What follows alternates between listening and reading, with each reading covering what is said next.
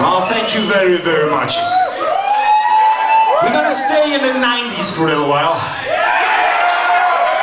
You know, a year after we released our debut album, Glory to the Brave, we went back to the studio and recorded an album called Legacy of Kings.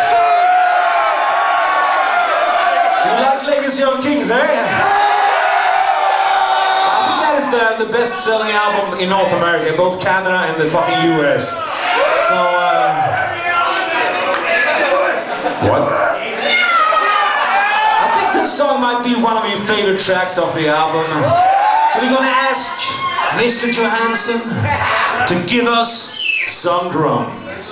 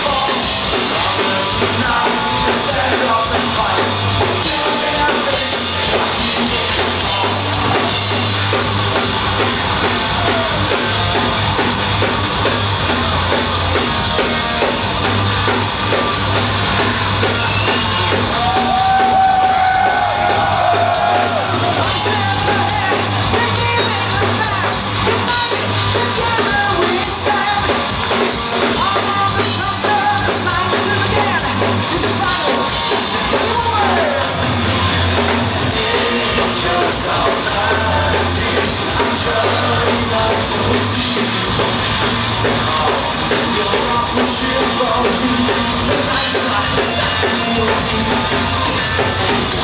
you.